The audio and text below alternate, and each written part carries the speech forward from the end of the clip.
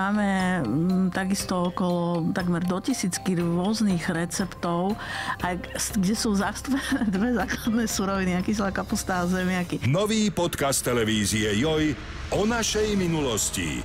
Joj History vo všetkých podcastových aplikáciách.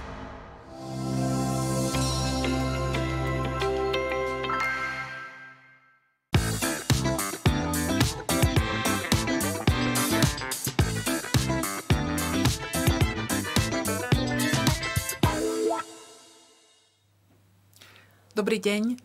Vítam vás pri podcaste Joj zdravie. Dnes bude nezvyčajný, pretože u nás privítame hostia, pre ktorého je veľkým darom, že sa môže znovu slobodne a naplno nadýchnuť. Ja u nás vítam Magdalenku Červeňanskú, ktorej transplantovali pred tromi mesiacmi plúca. A ja sa volám Marcela Fuknová. Dobrý deň. Dobrý deň. Dobrý deň, Magdalenka. My si budeme tykať, lebo my sa už nejaký čas poznáme. A ja sa veľmi teším, že ťa takto vidím. Ty, tu, ty máš síce respirátor, majú ho aj všetci v štúdiu uh, tuto vedľa v technike, ja ho nemám, lebo aby mi teda bolo rozumieť, ale veľmi sa teším, že ťa vidím takto. Uh, ty máš 3 mesiace transplantované plúca, úplne fungl nové. A ja som videla, že ty si dokonca bola s rodičmi nedávno na dovolenke v horách. Je to tak? Áno. Ako to vyzeralo? Uh, bola to veľká zmena vlastne. Predtým, pred samotnou transplantáciou som prešla maximálne 10 metrov a teraz zrazu mi nerobilo problém prejsť 10 kilometrov. Je to obrovský zázrak. Bol to zázrak pre teba tie hory vidieť, takto áno, však? Áno. Keď si hovorila, že pred transplantáciou si mohla prejsť možno 10 metrov, ako vyzeral tvoj život predtým? Ja som videla, možno, že aj diváci budú vidieť fotografie, ako v, bolo to naozaj, naozaj dramaticky to vyzeralo. Vyzeralo to, že skutočne si nebola v dobrom stave. Ako to bolo? Vlastne už som mala nízky výkon plus. Musela som byť neustále pripojená na kyslíku 24 hodín denne takže som potrebovala elektrínu, baterka mi vydržala možno hodinu a pol. A k tomu sa pridala aj neinvazívna plúcna ventilácia, ktorú som musela mať počas spánku aj počas dňa, keď sa mi nedalo dýchať kvôli vysokým CO2 v krvi. V mnoho ľudí si asi ani nevie predstaviť, že aký to je pocit, keď človek nemôže dýchať. Ty uh, máš uh, cystickú fibrózu, k tomu sa dostaneme a vlastne celý život si mala možno s tým dýchom problémy. Ale teraz to vieš porovnať. Aké to bolo predtým a aké je to dýchať teraz? Neporovnateľné. Naozaj cítim sa ako zdravý človek a je to niečo úžasné. že, uh, že je, to, je to teda naozaj naozaj zázrak pre človeka, ktorý dovtedy vlastne nevedel, aké to je dýchať bez, bez, bez obmedzení a bez toho, že aby mm, mu to prinášalo ťažkosti. A ty si, my sme hovorili, že ty máš cystickú fibrózu. A dokonca aj nie úplne bežnú mutáciu cystickej fibrózy. V ako to uh, tvoji rodičia zistili? Lebo toto sa zistuje naozaj väčšinou u malých bábetiek. Už teraz je dokonca na to špeciálny test, ktorý sa robí všetkým screening. bábetkám, screening. Uh, myslím, že sa to robí uh, zo suchej kvapky krvi, to patrí ano, medzi späť. tieto ochorenia z petičky. Ale v, u teba to tak nebolo. Ako to bolo? Ako tvoji rodičia vlastne zistili, že nie si zdravá? Ja som vlastne krátko po narodení mala dva zápaly plúc a doktorke sa to proste nedalo, že mm, pochybovala, či, či je do mňa, o mňa dobre postarané a moji rodičia to jednoducho odmietali prijať, že je chyba na ich strane, tak pátrali ďalej a že im jedna známa pani fyzioterapeutka poradila, aby ma skúsili obliznúť moju pokožku. Mm a nasypali mi do čajíku trošku soli. A vlastne po tej soli som zrazu prestala plakať a zistili, že som slaná. Že vlastne keď obliznú, ono sa týmto deťom s cystickou fibrozou hovorí, že slané deti. deti. Práve kvôli tomu, lebo tá pokožka skutočne je slaná. Hej, vylučujeme viacej soli a tým vlastne sa nedostáva do životne dôležitých orgánov ako plúca a pankreas a upcháva ich hlienom. Áno, je to vlastne, cystická fibroza je o tom, že sa ako keby naozaj usádza hlien. Áno, v, a to je živnou pôdou pre baktérie, pre baktérie. a vírusy. Niektorí ľudia skutočne majú s cystickou fibrozou viac postihnutú tú tráviacu sústavu, ten pankreas. Niektorí majú na tie dýchacie cesty. Ty, ty si teda patrila medzi, medzi týchto Áno. ľudí. Uh, ako sa ti s touto chorobou vyrastalo? Ako ti ovplyvňovala život? Čo sa s tebou dialo? Um, u mňa to bolo také zaujímavé práve kvôli tomu, že mám nezvyčajné mutácie. Uh, chloridové testy z potu potvrdili túto uh, chorobu, iba že uh, tá diagnostika uh, bola náročnejšia. Bola že ne... náročná. Uh-huh. Uh, Nebolo to, proste, nebolo to proste také ľahké zistiť, ano. že máš tú cystickú fibrózu. Na tie konkrétne mutácie prišli, keď som mala 10 rokov jednu uh-huh. a mhm. druhú až v 18, ale aj napriek tomu ma pani doktorka Orosová v podunajských biskupiciach liečila od malička ako chorú, uh-huh. takže som denne trikrát inhalovala lieky a udržiavala si plúca čisté, čo ma naozaj podarilo udržať v dobrom stave, takže som mohla ako bežné dieťa navštevovať materskú školu, základnú školu, aj dokonca strednú školu v Bratislave. Čo je, čo je fantastické. A som bývala na internáte. Čiže napriek tomu, že oni tie mutácie úplne nepoznali, tak ťa podchytili. Áno. A skutočne tie lieky ti v podstate pomáhali od, e, od malička, lebo pre niekoho je tá cystická fibroza naozaj, že sú aj deti, ktoré, ktoré skutočne zomrú aj v detskom veku, že naozaj to človeka, človeka môže postihnúť. E, ty si vyštudovala uh, takú peknú strednú školu. Povedz, povedz nám niečo o tomto, lebo ty si umelkyňa. Áno, vyštudovala som malbu na Strednej umeleckej škole scenického výtvarníctva tu v Bratislave. A vlastne jej som sa aj venovala potom hmm. po škole že skutočne maluješ krásne obrazy, aj to možno naši diváci uvidia. A posluchači, ktorí to neuvidia, tak tým poviem, že e, maluje rôznych anielov, rôzne kvety, má veľmi, veľmi krásny svet na tých svojich obrazoch, dá sa povedať. A e, dobre, čiže tebe to ako keby okrem toho inhalovania a okrem teda toho, že si teda musela takýmto spôsobom užívať tie lieky, nejako výraznejšie do toho života nezasahovalo, že sa to dalo. Ako si to ty vnímala? Pamätáš si to obdobie, že ako si to ty brala, keď si bola taká malá zedeškárka, potom dospievajúca? Ako si brala, že máš toto? Um, úplne normálne. Aj ľudia okolo mňa nevideli ma, že by som bola nejaká rozdielna. Nedali mi to vôbec pocítiť. Uh-huh. Ty uh, máš aj súrodencov, ty máš, myslím, sestru však? A dve sestry. Dve sestry dokonca, dobre si to pamätám. A oni ani jedna toto ochorenie nemajú. Nie. Nie, sú zdravé. Sú zdravé, chvála Bohu. Čiže teba, teba vlastne jedinú táto cystická fibroza postihla. Áno. V, aj sa potom zistilo u tvojich rodičov, že, že ako to je s prenosom? Uh, áno, vlastne každý má jednu tú mutáciu uh-huh. a u mňa sa spojili.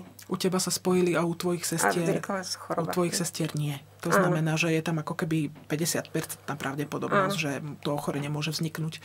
Oni teda mali to šťastie a, a ty bojuješ takýmto uh-huh. úžasným spôsobom aj pre iných. Uh, ty si hovorila o strednej škole. Kedy prišiel ten zlom, že si si uvedomila, že toto ochorenie je veľmi silné a že naozaj ti ten život zmení naplno? Ten zvrat prišiel asi až príchodom na vysokú mhm. školu, mm-hmm. keď vlastne po prvých dvoch týždňoch som musela prerušiť štúdium kvôli dlhej hospitalizácii v nemocnici. Mm-hmm. Čo sa vtedy dialo? Dostala som vysoké teploty, schudla som skoro 20 kg. Stále doktori nevedeli to, čo mi je. Ten výkon plus stále klesal. Až teda ich napadlo dať vyšetriť spútum na špeciálne pracovisko do Vyšných hágov a tam prišli na to, že um, mám v plúcach baktériu Mycobacterium abscessus, ktorá vlastne spôsobuje také hnisavé ložiska. Tá baktéria pravdepodobne zdravého človeka s normálnou imunitou Nie. by asi nenapadla, ale v tebe sa toto stalo. Um, ja viem, že sa ťažko na to pýta, ale aké to bolo proste zrazu, zrazu byť chorá a uvedomovať si to? Mm, veľmi náročné, ale musím poďakovať mojim blízkym, lebo tá podpora rodiny zázemie je veľmi dôležitá. A naozaj mi to ani rodičia nedali pocítiť, brali ma ako zdravú. Čiže teba, teba tak vychovávali. Ja keď som bola u teba doma, lebo ja som nie doma, ale bola som v tvojom ateliéri. Ano. Ty máš taký maličký ateliérik. Ty si v podstate nastúpila, a to bola aká vysoká škola? Dejiny umenia. Dejiny umenia. Na Čiže ty si, ty si sa chcela venovať, venovať naďalej teda, teda malbe a teoreticky vlastne študovať tie základy toho umenia. A ty si sa musela vrátiť domov. Skutočne ano. musela si v, koľkokrát si bola hospitalizovaná, keď si hovorila vtedy, o, že... Najprv to boli 4 mesiace, potom 3 mesiace, 2 mesiace a tak sa to striedalo vlastne. Od tých 19 rokov som bola neustále iba v nemocnici. Hmm. To naozaj muselo byť ťažké, čo ten človek vie robiť v tej nemocnici. Tak e, dobre bolo, že som vlastne vyštudovala takú školu, ako som vyštudovala a malovať som si mohla aj popri tom. Čiže ty si si malovala, dá sa hey. povedať, že veľa času si trávila tým. E, v, môžu sa e, ľudia s cystickou fibrozou stretávať, lebo v mnohé pacientské organizácie napríklad fungujú na tom princípe, že e, tí ľudia si sa podporujú aj navzájom, že majú stretnutia. Ale v, ako je to u ľudí s cystickou fibrozou? Bohužiaľ sa nemôžeme stretávať práve kvôli tomu prenosu baktérií, aby sme sa navzájom nenakazili ale výhodou je, že si v dnešnej dobe môžeme písať a mm. tak sa aspoň podporovať v skupinách. Lebo to skutočne uh, málo ľudí vie, že u vás to naozaj nie je také jednoduché uh. a vy sa kontaktovať navzájom nesmiete. Alebo nemali by ste sa skutočne, že nemali by ste, byť, nemali by ste byť v osobnom kontakte ľudia s cystickou fibrozou. Uh, v, uh, toto obdobie, keď sa to ochorenie teda začalo prejavovať, um, Existujú teda moderné lieky, ktoré prichádzajú aj na toto ochorenie. E, ty si sa snažila, e, v tomto období dá sa povedať, že sme sa aj my stretli, lebo ty si sa snažila takýto liek pre seba získať. Čo to bol za druh lieku? Čo ti, v čom ti mal pomôcť? Bol to vlastne liek Kalideco. Fungoval na princípe génovej terapie a mm, vlastne pomáhal udržovať tú sol v tele, aby aby dokázalo telo pracovať, aby rozpúšťalo hlieny. Uh-huh. Ty si mala vtedy, um, ja si to pamätám, keď som teda u teba v tom ateliéri bola, ty si tam mala neskutočnú hromadu liekov že to bolo naozaj veľké množstvo. Pamätáš si možno, koľko liekov si vtedy brala v tom období? Uh, to ani nie. Je, bolo, ich, bolo ich možno, že naozaj okolo 20, možno no, aj viac. Byť. Možno aj viac ako 20, bolo ich veľmi veľa. A mm, tvoj, e, tvoj stav v tom čase bol aký? Keď si teda sa snažila dostať, získať túto liečbu? tá, tá, ten môj výkon plúc sa ale neustále klesal, až som teda skončila na tom kyslíku. A bohužiaľ ten mykobakter mi narobil v plúcach tzv. buly, diery, ktoré praskali pri väčšej námahe a spôsobovali pneumotorax. Uh-huh. Ako to vyzerá, keď človek dostane pneumotorax, keď mu prasknú plúca? To si asi bežný smrteľník nevie predstaviť. Ako ja, to je? Ja to prirovnávam k prestrelu plúc, ako keby uh-huh. bol postrelený. Naozaj je to veľká bolesť, nedokáže sa nadýchnuť človek. Čiže tebe sa to stalo, ty si hovorila, sedemkrát. Sedemkrát. Sedemkrát, to, to je neuveriteľné. Ano. Ty si to už potom v podstate možno aj poznala, že je to toto. Hej, prečo som uh-huh. vedela, že už, už, už niečo nie je, je zlé a uh, museli sme rýchle ísť do Bratislavy, tam ma zadrenovali na hrudnej, hrudníkovej klinike. A rovnako aj to drenovanie boli. Ono to nie je, nie, je, nie je ľahký zákrok a človek si ani nevie predstaviť, že takáto malá utlažená, naozaj poslucháči teda nevidia, že dokázala v podstate zvládnuť to, že sa aj 7 krát, že sa ti 7 krát roztrhli plúca. To je, to je skutočne neuveriteľné. Naozaj bežný človek, bežný človek si to predstaviť nevie. Um, ja sa ťa opýtam niečo, čo je možno hm, ťažká otázka, ale bála si sa, bála si sa o svoj život. O, áno, veľmi. Tam už, bohužiaľ, po tých 7 pneumotoraxoch boli tie plúca tak poškodené, že už posledným, poslednou možnosťou zostávala iba transplantácia a naozaj to človek ťažko to príjme, že už nie je iné cesty že už nie je inej cesty, lebo ani ten zákrok teda nie je, nie je jednoduchý. Tebe sa ten liek nakoniec podarilo získať. Nebolo to jednoduché, nebolo to jednoduché, ja si to pamätám, ale v, on ti vlastne pomohol sa k tej transplantácii dostať. Je to tak? Áno. Áno, vlastne vďaka nemu, aj vďaka nemu o, zmizla tá baktéria z mojich plúc nejakým zázrakom.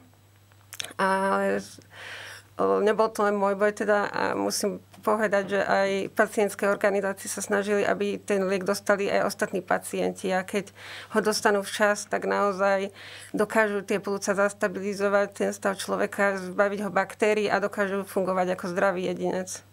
To znamená, že sa nemusia v podstate dostať do takého stavu, v akom si bola ty, lebo ja keď som videla tú tvoju fotografiu, tak ty si tam skutočne sedela omotaná hadicami s veľkým kufrom vlastne vedľa seba, ktorý bol, ktorý bol týmto, týmto dýchacím prístrojom vlastne, ktorý si potrebovala. Tam muselo byť náročné možno aj to, že čo keď vypnú elektrínu. Napadlo ti to niekedy, že keď sa také niečo stane? Ano. Pre tento prípad sme mali od jedného pána záchranára doma kyslíkovú bombu, požičanú a dokonca na balkóne e, elektrický agregát na mhm. benzín, lebo naozaj sa stalo, že vypadol prúd a ja som zrazu nemala ako dýchať. Hej, že to je skutočne také, že tam je to naozaj ako keby človek bol pod vodou, že ide o minúty, že naozaj proste do pár minút by sa človek zadusil. Čiže tam treba, tam treba byť takto vybavený eh, v, na také niečo. Eh, v, ty si sa snažila eh, získať teda aj nejaké peniaze, ktoré si potrebovala na podporné lieky, na vitaminové prípravky a tak ďalej. Práve tým, že si malovala. Tvoje obrazy sa dostali k mnohým ľuďom. Kam všade sa, kam všade sa dostali? Kto má tvoje obrazy? Alebo kto si ich od teba kupoval? Kto ich chcel? Veľmi veľa ľudí. To je ťažká otázka. Aj do zahraničia putovali niektoré. Hej, že proste je to tak, že ty si, ty si často malovala, malovala anielov. Bolo ti to niečím blízke, práve, práve tieto bytosti? Či to bol len taký pocit, že proste... Ja som najradšej malovala to, čo sa ľuďom páčilo mm-hmm. naozaj. To, čo chceli oni. To, čo chceli oni. Že, že aby, aby možno mali, mali takýto, takýto nejaký kúsok niečoho, niečoho pekného aj oni doma. V, ty v podstate v, k tej transplantácii teda došlo tak, že ty si už bola v takom stave, že už si skutočne teda nemohla ani malovať, nemohla si nič. Je to Hej. tak? Naozaj, o, už som musela byť pripojená stále na flusnú ventiláciu. Nedokázala som sa ani nájsť. Krátko pred tým zákrokom som vlastne dostala ten posledný pneumotorax a bola som v nemocnici hospitalizovaná. Čiže tam už išlo naozaj proste... O minúty. Skutočne, že, že o všetko.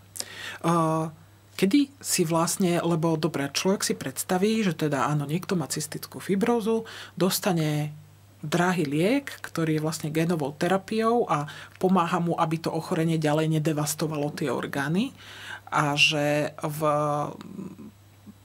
Prečo potom transplantácia? Ako to bolo? Ty si ho dostala v podstate neskoro. Je to tak, že pre teba už bolo neskoro, čo sa týka toho, že ten organizmus už bol poškodený? Práve kvôli tým pneumotoraxom už tie plúca boli natoľko zničené, že, že tam nebola iná možnosť ako transplantácia nedalo sa to zachrániť. Sice ma stabilizoval, ale s tým nízkym výkonom plus okolo vitálna kapacita bola 20% a to je naozaj nič.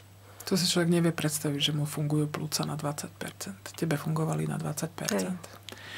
A v, ako vlastne prišla tá myšlienka? Že kto s tým prišiel, že Magdalenka, ideme ti hľadať plúca? Tak mm, my s rodičmi sme hľadali vlastne možnosti, ako by sa dalo pomôcť. A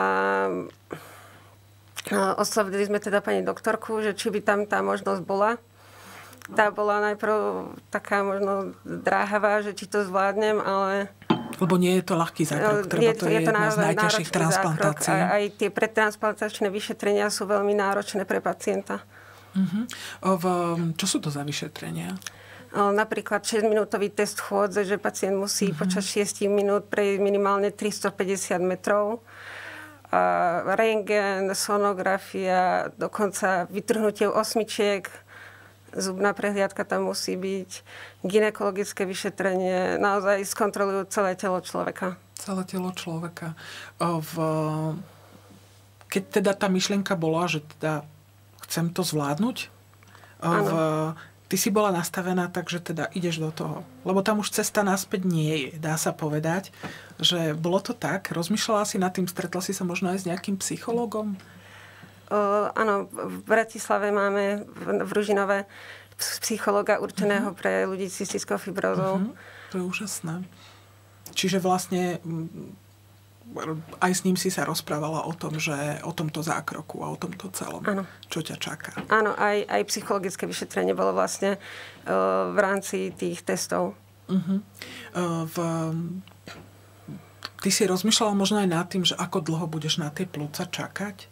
Ako dlho si čakala od, od, možno od toho, že ste sa teda rozhodli aj s tou lekárkou, že teda idete do toho, až možno po to, keď sa oni ozvali. A aké to, ako to vyzeralo, keď sa ozvali? Aké to je pre pacienta, ktorý čaká na transplantáciu? O, celé to trvalo asi zhruba pol roka. Uh-huh.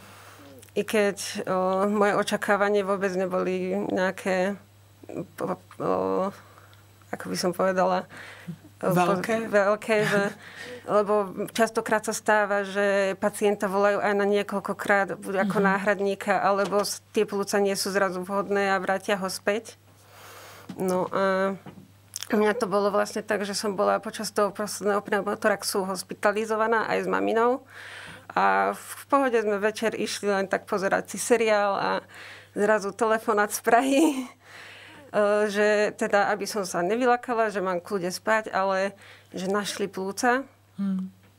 Ale teda ešte nevedia, či budú dobré. Takže mi dajú vedieť jedno a o pol hodinu už telefonovali, že idem do Prahy. Aký to bol pocit?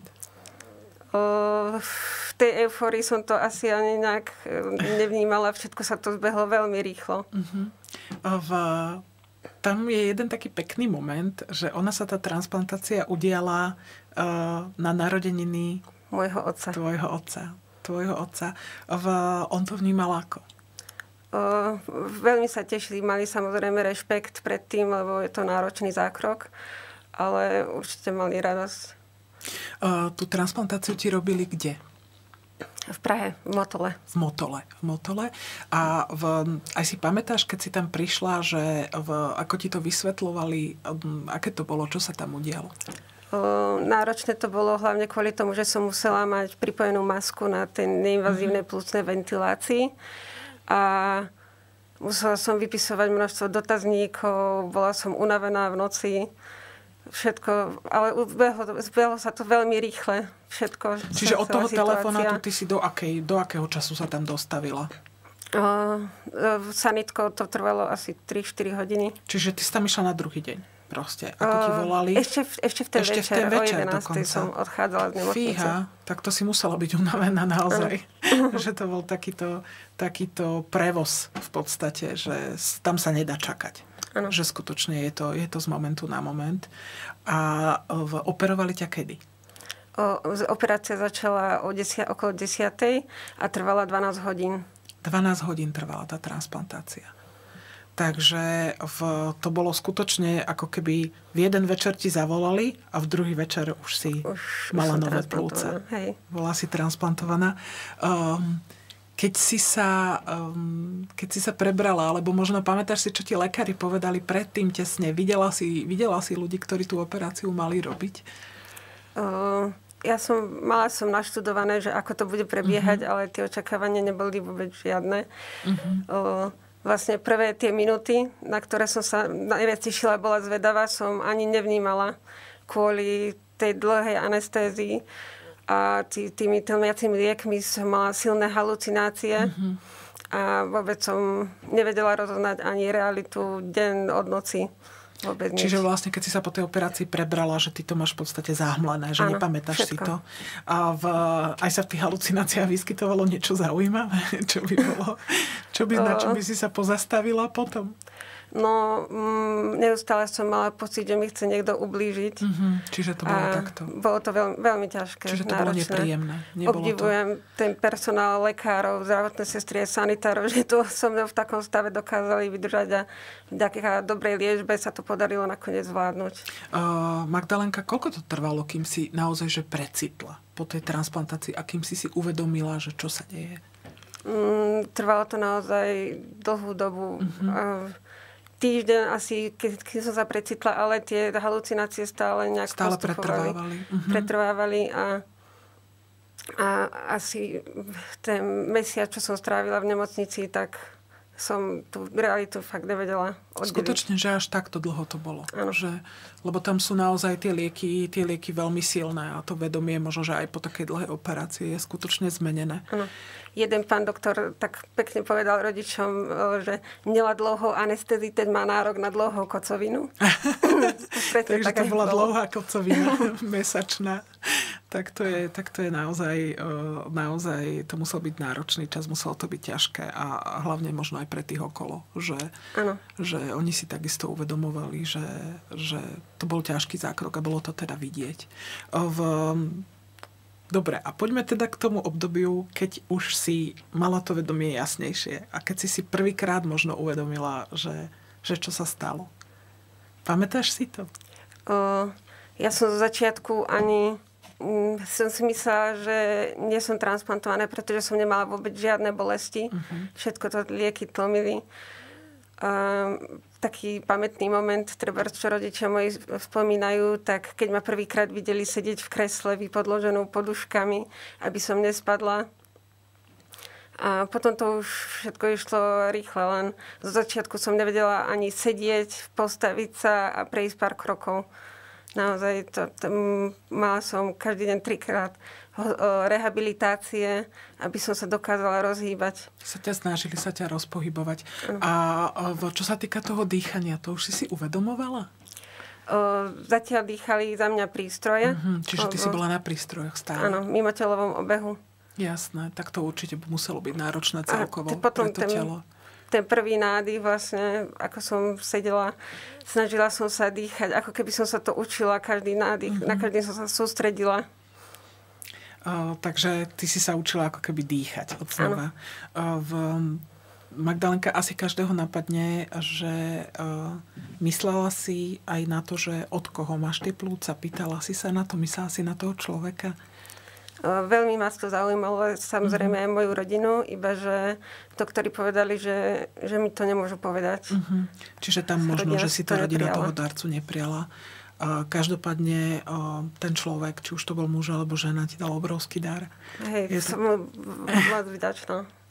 Je to tak, že naozaj, ako sa hovorí, že nezobral si ten svoj orgán do neba, ale dal ho tebe a ty vďaka tomu teda takto môžeš, e, takto môžeš fungovať. E, v Ty si sa tam teda učila nielen dýchať, ale aj chodiť, aj naozaj, že hm, stávať sa, stávať sa znovu na nohy. V, koľko to trvalo, kým si sa v podstate, kým si mohla odtiaľ odísť? V nemocnici som strávila zhruba mesiac a pol. Potom som zase bola hospitalizovaná v Bratislave ešte na vyšetrenia a musela som sa naspäť vrátiť o, do Prahy, pretože som mala po tracheostómii uh-huh. otvorenú dieru v krku a museli uh-huh. ju na, zašívať. Čiže ti ju museli zašívať. Ty si aj hovorila, že tam je taká špeciálna jazva po tej transplantácii plúc, ktorú dokonca ani nie je vidieť. Áno. Mám ju vlastne umiestnenú tak pod prsiami a pekne ju zakrývajú plavky, takže Takže v podstate... Ako je taká neviditeľná. Neviditeľná, že to človek, že to človek ani na prvý pohľad nezistí, že keď si niekto predstaví, že proste rozrežú hrudník takto, uh tak oni ho, oni ho rozrežú takto. A v, stretla si sa tam aj s nejakými inými ľuďmi, ktorí boli po transplantácii plúc? Nie, nie, boli sme oddelení. Boli ste oddelení, ale bolo ich tam možno viac. Je to tak, že... Je to možné, že, že nebola si, boli v tej dobe transplantovaní aj iní. Že nebola si úplne jediná. V, predtým sa transplantovali plúca iba vo Viedni. Boli ľudia, ktorým boli transplantované vo Viedni. Pomohlo ti možno aj to, že si tým ľuďom rozumela? Že bolo to, bola to pomoc pre teba? Obrovská. I keď práve kvôli tej tracheostómii som nemohla rozprávať po zákroku, a náročné bolo aj písať, pretože sa mi stále triasla ruka. A to dorozumievanie bolo také všelijaké. Mm-hmm. Preto patrí fakt obdiv tým zdravotným sestrám, ktoré to tam so mňou nejakým spôsobom zvládali. Čiže v, aj si niektoré z nich možno pamätáš? Lebo ty si tam naozaj strávila dlhý čas. Áno. Áno, čiže aj tie tváre, dá sa povedať, utkveli možno v pamäti, možno hej. aj mená. Hej, hej.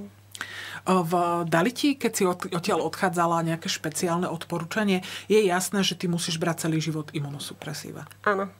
Naozaj tých liekov je stále veľké množstvo, skoro 22 čo beriem, aj vitamínov, iba že je to vlastne neporovnateľné, že teraz už... Tá kvalita života Tá kvalita iná. života aj napriek tým liekom je úžasná. V... Vy ste sa prečo práve rozhodli, že vybrať sa potom, že pôjdete do tých hôr? To bolo aké? Lebo ty keď si spomínala, ty si teraz po transplantácii v podstate štvrtý mesiac. Áno. Akože v, aj to je úžasné, že si v takom krátkom čase bola ochotná prísť. Ako ja som ti za to veľmi vďačná, že si sa naozaj takto vybrala. A v, na tú dovolenku vy ste museli ísť vlastne krátko po tom, čo ty si sa vrátila z tej nemocnice. Ako to bolo? O, vlastne teraz najbližší rok by som nemala absolvovať nejaké veľké výlety. Uh-huh. Musím sa chrániť, lebo ten prvý rok je rozhodujúci. Aj preto je také, my si to naozaj veľmi vážime, že si prišla, aj preto sa tu všetci chránime a ja si dám rúško, keď pôjdem von hneď, keď budeme teda v bližšom kontakte. A e, v, do tých jeseníkov ste ale teda išli. Hej, tam máme rodinu, chatu, uh-huh. tak na tej sme trávili čas. Čiže neboli ste v kontakte s inými ľuďmi? Nie. A v, ty si tam bola predtým kedy? Možno, keď si to tak zoberieš. O, bola som aj minulý rok, uh-huh. iba že ten stav bol taký naozaj ťažký a možno sme si ani úplne neuvedomovali, že keby náhodou dostane tam ten pneumotorák, že čo budeme v takej situácii robiť. A, o... Bola som vďačná, že som tam bola, ale teda... Ale veľmi si si to neužila kvôli tomu. Hej. Musela som byť vlastne iba doma na, na kyslíku keď sme išli na prechádzku, tak sme mali požičaný invalidný vozík, uh-huh. na ktorom ma rodičia viezli. A tatino mi dokonca vyrobil z baterky od auta nabíjačku, aby som dokázala na to kyslíku stráviť viacej ako iba hodinu a pol. Aby to vlastne Aby sa nám nevyžil po ceste. Toto si ľudia často neuvedomujú, že ľudia, ktorí sú odkazaní na podporu dýchania, že aké je pre nich náročné niekam výjsť a že skutočne sú často o, zavretí medzi štyrmi stenami a že aj to obmedzuje ten život. A aké to bolo si obuť tie turistické tofanky a ísť? O, neopísateľný zážitok, že fakt po tých rokoch dokonca som ich až zničila prederavila, tak som hneď musela objednať nové na novú turistiku. Čo si toľko, čo si toľko chodila. V, ako toto brali možno, že aj tvoji blízky, lebo aj pre nich je to určite veľká zmena. Musí to byť pre nich úžasné. Mm, neustále sa na mňa pozerajú, usmievajú sa rodičia. Stále, stále tomu nedokážu možno uveriť úplne, že, že takáto zmena nastala. Taký zázrak. Je to zázrak pre teba však že skutočne, e, že skutočne je to takto. V mnohých ľudí možno napadne, že toto nie je ochorenie, ktorého by sa človek zbavil. Tým, že je to naozaj uh, génové ochorenie, že je to teda, uh, alebo genetické ochorenie, že je to spôsobené zmenou génov, uh, tak uh, ona tá choroba vplýva aj na ten nový orgán. Je to tak? Áno. Uh-huh. Ale v tým, že teda je zdravý, dobrom stave, tak ono to asi e, v... Dávajú lekári nejaké predpoklady, že koľko môžu také plúca vydržať? U každého je to individuálne, či to vydrží rok, 5 rokov, alebo máme slovenského rekordéra 20 rokov naozaj závisí to od tej nastavenej, dobre nastavenej liečby a od toho, ako sa človek udržiava v kondícii. Uh-huh. A v, aj ti dali nejaké rady, že teda ako si po transplantácii plúc, že ako by si mala žiť, čo by si mala robiť? Tak musím si samozrejme dávať pozor, nosiť rúšku, necestovať verejnou dopravou, dôležitý je ten šport, najmä treba badminton, aby sa tí sa naťahovali. Aha, čiže nie je to také, že vy tu teraz pekne potichučky sete, lebo vy ste po transplantácii plus nehybte sa veľmi, aby vám nebolo horšie. Čiže práve naopak. Nie, hej? práve naopak musia byť stále tie plúca zaťažené. Uh-huh. Čiže ty musíš športovať, ano. dá sa povedať, to, čo si predtým nemohla. A aj športuješ teda? Áno, veľmi ma bavia prechádzky, tie uh-huh. si užívam. Skúšali sme badminton, bicyklovať. Tak postupne by som chcela možno začať behať, ale všetko z mierou opatrne, aby sa niečo nepokazilo. Ale v, dá sa povedať, že ty keď si teda bola dieťa a dospievajúca, kým sa tá choroba tak radikálne nezhoršila, ako sa ti to stalo teda v tých 18, tak ty si tieto veci robila. Bolo to také, že pamätala si si, ako sa bicykluje, alebo proste, alebo badminton si vedela hrať. Áno, áno. Akurát teda beh mi robil problém. Uh-huh. Pritom som sa veľmi zadýchala. Už si skúšala teda aj behať teraz, hej? Uh, pomaličky, ale iba po pár metroch. tak to ako si človek, ktorý sa pohyboval na invalidnom vozíku, že naozaj si bola proste, nebola schopná prejsť pár metrov a že skutočne zrazu človek beží, tak to je asi, asi naozaj, naozaj nepredstaviteľné. V, obratili sa na teba možno aj nejakí iní pacienti, ktorí s cystickou fibrózou, že ktorí chceli vedieť, že aká je to skúsenosť, že čo si musela podstúpiť, akože pýtajú sa ťa? Áno, áno, píšeme si naozaj cez internet, veľa komunikujeme aj, aj s tými pacientmi, ktorí sú už boli predo mňou pre transplantáciou, tými veľmi pomohli. Uh-huh. Mala som od nich veľa informácií, ako to bude asi prebiehať. Čiže, a boli to aj teda zo Slovenska pacienti, áno? Uh-huh. Čiže ty ti hovorili, že, že čo ťa čaká a aké to bude. Čiže aj to ti pomohlo. Áno, veľmi. Uh-huh. Že, e, že, oni, že oni sa ťa takto, oni ťa teda takto podporili. Aj e, vieš o niekom teraz zase ty napríklad z tej druhej strany, kto sa na tú transplantáciu chystá? Áno. A kto na ňu čaká? Áno, viem o pár ľuďoch, čo, čo by vlastne chceli podstúpiť transplantáciu. V, je to vlastne, ten mechanizmus je tam aký? Že o to požiada ošetrujúci lekár, alebo, alebo hm, kto ťa vlastne skontaktoval s tým pracoviskom? O, lekár. Lekár, áno. čiže lekár v Bratislave, ktorý sa, ktorý sa o teba stará. V, ty, ten liek, ktorý si mala predtým, ten už teda naďalej neberieš. Je to nie. tak, že nie. Tým pádom, že... Um, Mám immunosupresíva že máš imunosupresíva, tak uh, tento liek, ono si to človek nevie predstaviť, ale to sú skutočne preparáty, ktoré majú svoju sílu a ktoré majú svoje vedľajšie účinky a ako naozaj v, naozaj to keby si, že naozaj teda to nie je jednoduché ani ich kombinovať, ani nič podobné. Keby si možno takto vedela zhodnotiť teraz, že ako sa žije ľuďom s cystickou fibrozou na Slovensku? Čo sú ich najväčšie problémy? Ako to je? O, tak súčasným problémom je, aby zostala tá liečba preplácaná. Uh-huh. Koľko taká liečba stojí približne? O,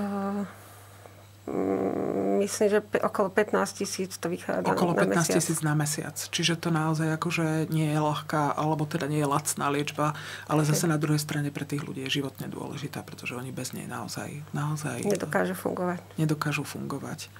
A um, to bolo teda to bolo teda, ty si ubrala, myslím, rok? Mm, myslím, že 2-3 roky. 2-3 roky. 2-3 roky. A to nebol teda jediný liek, tam naozaj tí pacienti v podstate podľa tých mutácií potrebujú niekoľko liekov. Je liek aj na oveľa častejšiu mutáciu. Ty si mala skutočne, alebo teda máš, uh, máš skutočne zriedkavú. Um, keď sa človeku takto otvorí svet, ako teraz tebe, že zrazu môže veci, ktoré nemohol, uh, aké máš ty teraz plány? Že čo by si chcela? Naozaj ten prvý rok by som sa chcela venovať najmä sama sebe a tomu športu, aby tie plúca boli v čo najlepšej kondícii. A potom by som možno chcela skúsiť sa vrátiť opäť do školy alebo sa zamestnať. Čiže možno, že by si chcela ešte tie dejiny umenia študovať. Hej. Že... Alebo iný odbor. Uvidím. Lebo ty si vlastne naozaj, že to, ty, ty si bola na tej vysokej škole kratučko, že nestihla si to vlastne, vlastne zažiť ten študentský život. Hej. A v, keby si možno mohla niečo povedať ľuďom, ktorí um, uh, majú možno teraz um, dieťa s cystickou fibrozou malé, alebo ľuďom, ktorí, um, ktorí čakajú uh, na zákrok, alebo ľuďom, ktorí s ňou žijú, že v, možno naozaj, že, že dá sa to zvládnuť. Je to také, že tebe sa to podarilo aby sa nevzdávali akokoľvek zle to v živote. Naozaj aj zdravý človek má svoje problémy a je to len o tom, aby sa ich naučili prekonávať a boli tak silnejší. Aby, aby jednoducho naozaj smerovali krok po kroku. Lebo skutočne ty si tiež robila také malé kroky. My sme sa stretávali teda v rôznych fázach, že naozaj od vyriešenia jedného problému a potom k ďalšiemu. Že a v možnom čo by si možno povedala ľuďom, ktorí sú zdraví a ktorí majú pocit, že majú hrozné problémy? v rôzneho druhu. Ja viem, že každý problém je, je náročný. Hej. Ale mm, možno o tom, o, tom, o tom užívaní toho života. Že ako to je to teraz cítiť? Ako to ty vnímaš? Mm, ja to vnímam asi, že na veľa veciach, že možno nemajú pre mňa takú váhu, že naozaj pokiaľ sa dobre dýcha a dokážem fungovať, tak všetko ide. Že niekedy, ako sa hovorí, že stačí dýchať. že aj to, takáto základná vec je, je pre človeka dôležitá a proste najdôležitejšia, dá sa povedať a, a niekedy mu to naozaj, že stačí, že sú aj ľudia, ktorým, ktorým stačí, že, že dýchajú. V, ty nebudeš mať možnosť sa teda nejako poďakovať tomu človeku, ktorý, alebo jeho rodine, teda, ktorá, ktorá sa takto rozhodla a ktorá, ktorá tie plúca darovala, ale um, možno sa dostanú k tomuto podcastu, možno, že to budú počuť, že im o tom niekto povie.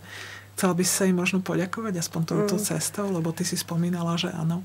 Chcela by som sa poďakovať naozaj tomu darcovi a jeho rodine, všetkým lekárom, zdravotným sestram, sanitárom, aj mojim najbližším rodine a často aj cudzím ľuďom, ktorí na mňa mysleli a dodávali mi tak silu bojovať.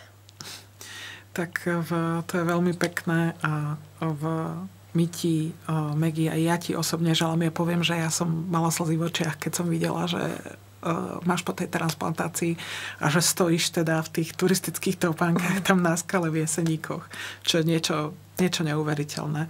Takže ja ti želám, aby tvoje plúca boli zdravé, aby vydržali čo najdlhšie v čo najlepšej kondícii a aby si si užívala život naplno a myslím, že to môžem povedať za všetkých. Je to darovaný život a je, je úžasné, že ho máš a želám to aj všetkým pacientom, ktorí, ktorí na tú transplantáciu čakajú, aby sa to podarilo. A takisto, takisto um, aby sme aj my ostatní mysleli na to, že skutočne, že naozaj neberte si orgány do neba nájdu, sú ľudia na druhej strane, ktorí na ne čakajú, ktorí ich potrebujú a ktorí vďaka ním žijú. Presne tak. Presne tak. Takže želáme všetkým pekný deň a ďakujeme, že si tu bola. Ďakujem. A ja.